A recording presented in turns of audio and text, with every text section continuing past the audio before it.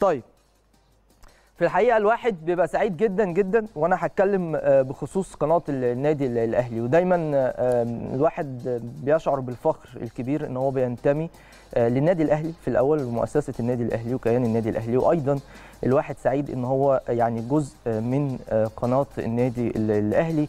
فالجائزة اللي حضراتكم شايفينها على الشاشة دي آه، نتاج مجهود كبير جدا لكل العاملين آه، في قناة الأهلي. دي كانت جائزة مهرجان نجم العرب وقناه النادي الأهلي فازت بأفضل قناة رياضية عربية. وده إنجاز كبير جدا في مدة زمنية قصيرة. أنت قدرت إن أنت تكسب جايزتين. إن شاء الله نتمنى الجائزه الثالثه تكون في السكة على غرار إيه؟ الفريق الأول لكرة القدم في النادي ال- الأهلي اللي فاز بالثلاثية هذا ال- الموسم وعشان نبقى ماشيين مع بعض إيه على خط واحد بإذن الله يعني. آه، دي لقطات من ال- الحفل اللي كان بالأمس واللي شهد آه، تتويج النادي الأهلي أو قناة النادي الأهلي تحديدا بهذه الجائزة الغالية. الجائزة الأولى كانت من شهر قبل دلوقتي تحديدا. آه، ده طبعا الأستاذ محمود عدلي المدير التنفيذي لشركة لايف وهو بي- بيتسلم الجائزة. الأستاذ محمد الأستاذ طبعا إيهاب ال- الخطيب المدير ال- العام لقناة النادي الأهلي. ويعني أمور آه، مهمة آه، جدا كمان الأستاذ باسم آه، عزمي المدير التقني لقناه النادي ال- الأهلي. الجائزه الأولى كانت من قبل شهر من دلوقتي كانت مهرجان الفضائيات العربية. دي كانت الجائزه أيضا اللي فاز فيها أو فازت فيها قناة النادي الأهلي بأفضل قناة آه، رياضية عربية. إن شاء الله نتمنى دايما آه، جوائز كتير لقناة النادي الأهلي. وكل الشكر آه، كل الشكر لكل القائمين والمسؤولين عن قناة النادي الأهلي. بداية من الأستاذ محمد كامل الرئيس التنفيذي آه، لشركة استادات الأستاذ محمود عدلي المدير التنفيذي لشركة آه، لايف الأستاذ إيهاب الخطيب المدير العام لقناة الأهلي والأستاذ باسم عزمي المدير التقني لقناة ال- الأهلي.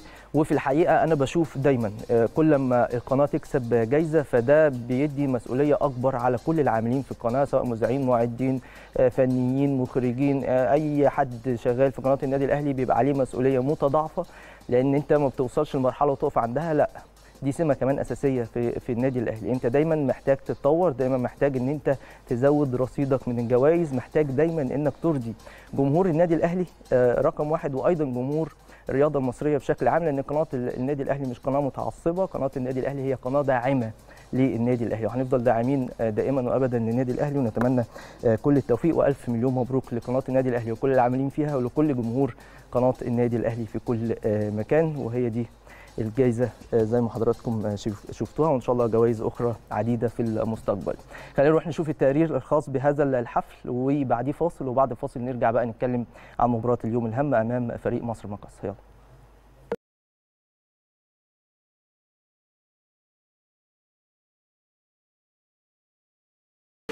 الاهلي بالنسبة لي دمي وحياتي وأنا أهلاوي صميم يعني. مبروك للأهلي. في بيت بابا وإحنا صغيرين جدا أطفال كان يعني أكتر حاجة بتخلي البيت سعيد أكتر من العيد أكتر من أي حاجة بتحصل في السنة لما الأهلي بيكسب.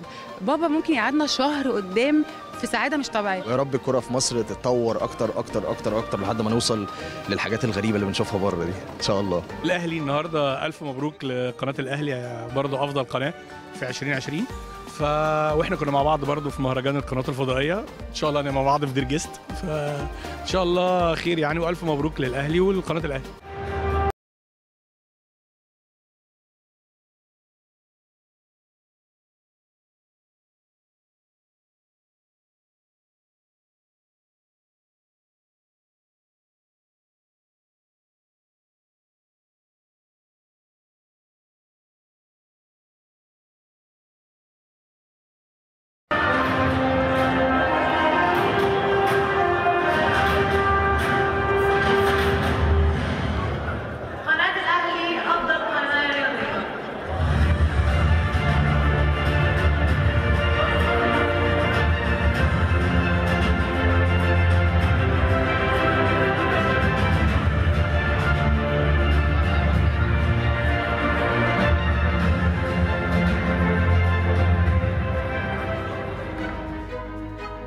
الاهلي حبيبي طبعا. أحمد أهلاوي وقال لي تبقي اهلاوي قلت له يا عم أنا أصلا ما بفهمش في حاجة آه، ربنا يا رب يفرحنا دايما.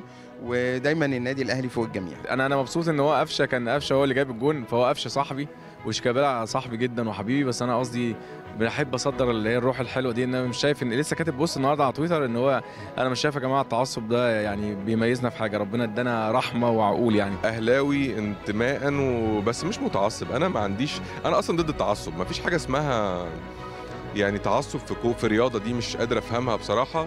فأنا متأكد إن الجمهور الواعي مش هيبقى متضايق مني في الآخر لأن هو الجمهور بيحب يعني عندهم عمرو دياب مثل زملكاوي هايل محمد منير مثل زملكاوي هايل فليه الجمهور الأهلاوي ما زعلش من الفنانين دول؟